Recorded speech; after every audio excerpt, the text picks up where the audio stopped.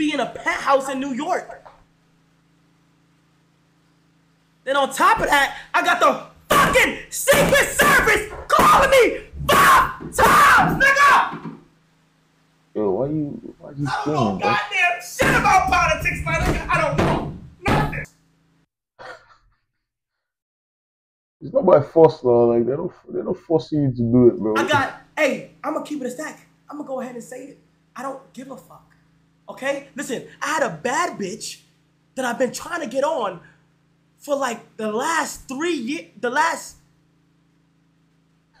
two years that I haven't I haven't spoke to in like a year. I haven't spoke to this girl in so goddamn long who gonna have the audacity to text me we need you a part of the campaign. Bruh.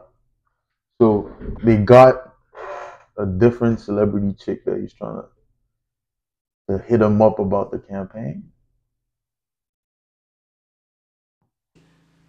At first, I was talking. I was thinking she was talking That's crazy. about like a game, a video game, like um, um Ice Spicy, yo. Can you can you open up for Kamala? Can you can you bring Kamala on stream? modern warfare game, um, or some shit, or if not that, a clothing brand. I'm like, what campaign? Shorty gonna say, ah, ah! We're not gonna get into details. What's up with this guy, bro? say it right What now. he doing? if there's some way somehow something was to go into where I do the stream of politics, I'm going to be 100% honest. I'm going to sit on my stream and say, "Why did you guys call me?" like, you know, Yo, but the thing about it is like I feel like Kai, you're not looking at it from a opportunity, which it is perspective. You might not be Democrat, you might not be Republican. Doesn't mean you, you can't bring on Kamala Harris on your stream. Because she's still a big recognized individual who will take your stream to the next level. And you keep it professional like Kai Cenat interviews the vice president soon to be president. And you ask her serious questions. This is where you put on like you put on those big boy pants because you're getting in certain levels of life right? And you can't see it as with that small mindset like oh something bad is about to happen.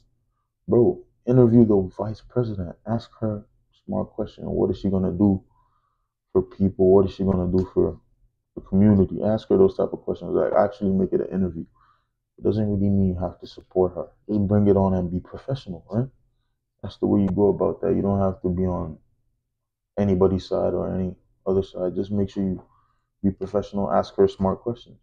That way you boost your stream. That's just my own advice though. no, I don't know.